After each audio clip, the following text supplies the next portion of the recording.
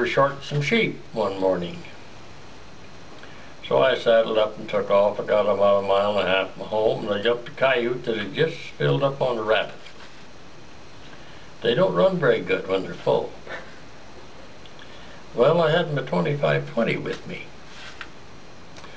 So standing up in my stirrups and holding the gun out to the side of the horse's head, the third shot, I got him. We was loping along. What was that worth? Huh? Two dollars a head. Uh, no, that was a grown coyote in the fall.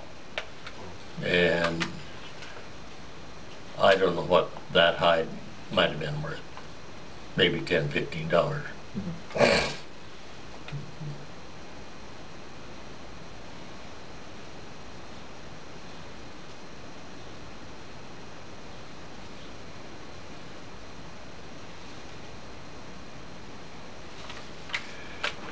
Dad and mother was staying in Baker and putting Pat through school. And decided to move out of the place.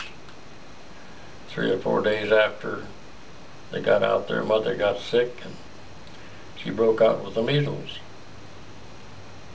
So dad woke me up about midnight one night.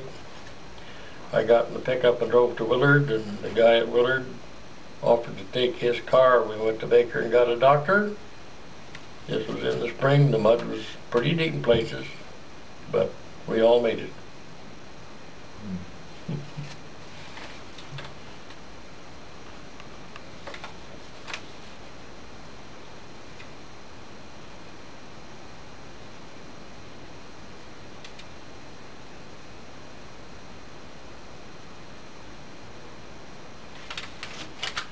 Back years ago,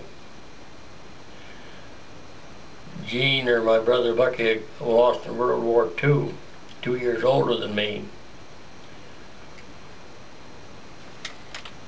I suppose this was in 25 or 26, something like this. There was a dance at Milk Creek Schoolhouse. So Dad hitched up the team to the buggy and loaded up, went to dance. Well, Bucky got sleep. They took him out and put him in the buggy to sleep. Well, an hour or so later, why, dance was over. Dad hooked everything up, loaded everything up, went home. He got home. Short one kid, Bucky. Well, he slept a while in the buggy and then he got up and started having a good time. Dad's had to saddle a horse. This was two or three o'clock in the morning and went back to Milk Creek, got Bucky.